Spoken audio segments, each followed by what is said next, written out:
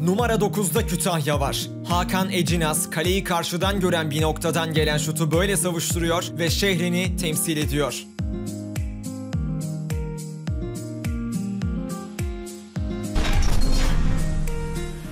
Numara 8'de Bilecik bizleri karşılıyor. Onur Armut, çapraz ve yakın mesafeden atılan şutu iyi şekilde savuşturup listeye girmeye hak kazanıyor.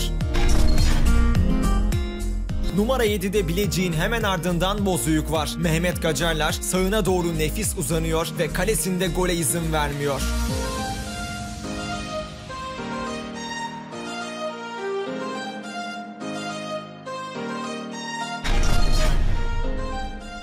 Numara 6'da Aydın ve Ümithan Maden'in kurtarışı var. Kepçük Spor'un başarılı kalecisi bu şutu kapattığı köşeden çelmeyi başarıyor.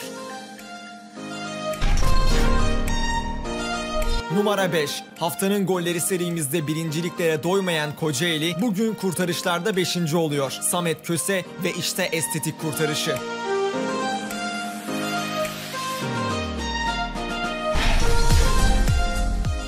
Numara 4'te Denizli'ye gidiyoruz. Bir frikik organizasyonunda gole izin vermeyen başarılı file bekçisi Ahmet Koçyiğit listemizde şehrini böyle temsil ediyor.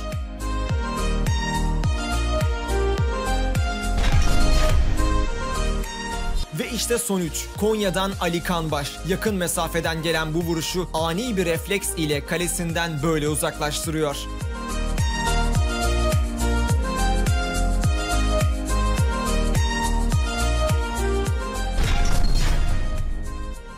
Numara 2'de İstanbul'dan Furkan Yolalan var. İki nefis hareket diyebileceğimiz bu pozisyonda Furkan resmen kalesinde devleşiyor.